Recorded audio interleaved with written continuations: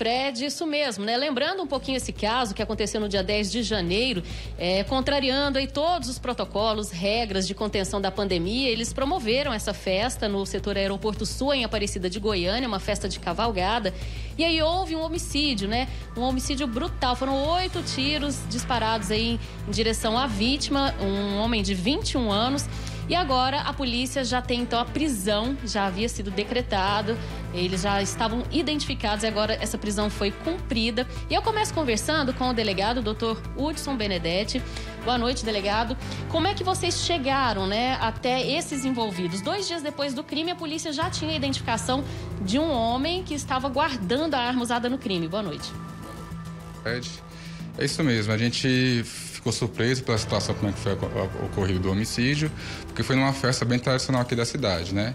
A gente sabe que está proibido as festas, enfim, e, e, em razão disso fomos até o local e a investigação de local provou que haviam dois suspeitos que haviam praticado o fato.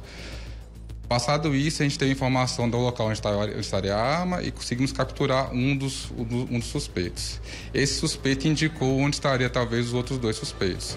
Foi feito levantamento de, de investigativo e com base nisso conseguimos é, qualificar e pedir a prisão dos dois. Aí na data de ontem conseguimos compreendê-los. Um deles foi responsável pelos disparos e o outro foi quem emprestou essa arma. Exatamente. Foi feito no contexto de facção criminosa.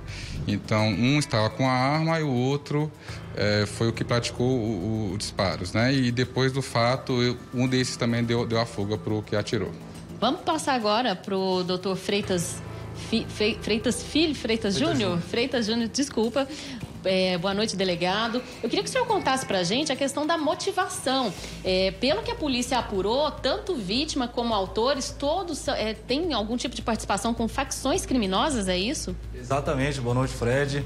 Como o doutor Hudson falou, ficou apurado ao longo das investigações que a vítima, embora ela não pertencesse a uma organização criminosa, ela funcionava como uma espécie de informante, né?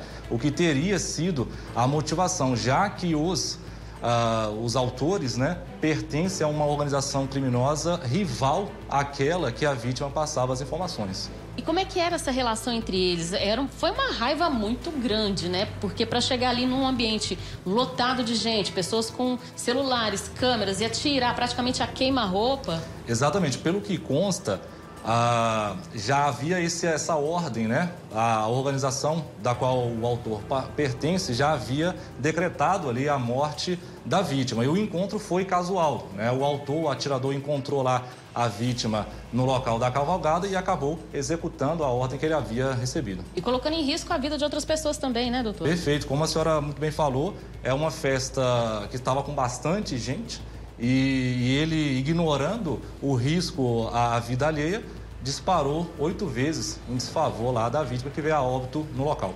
Então, muito obrigada né, aos dois delegados aqui por participarem do Cidade Alerta. É, Fred, foi esse homicídio qualificado e a polícia agora, então, muito rapidamente tirou de circulação esses dois envolvidos.